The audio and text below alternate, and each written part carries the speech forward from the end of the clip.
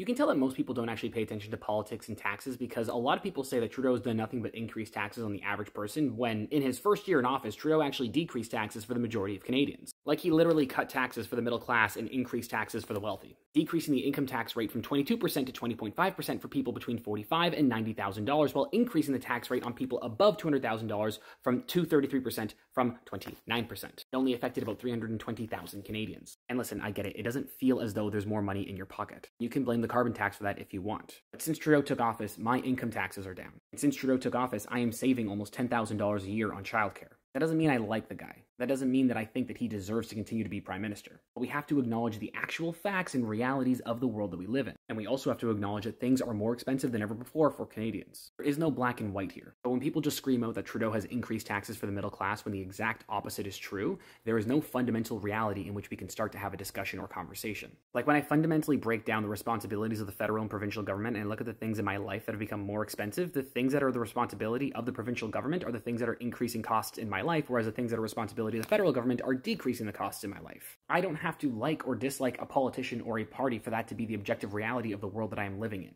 Nuanced conversations that we need to have are way too difficult to have online, but this is where most of us are having these conversations.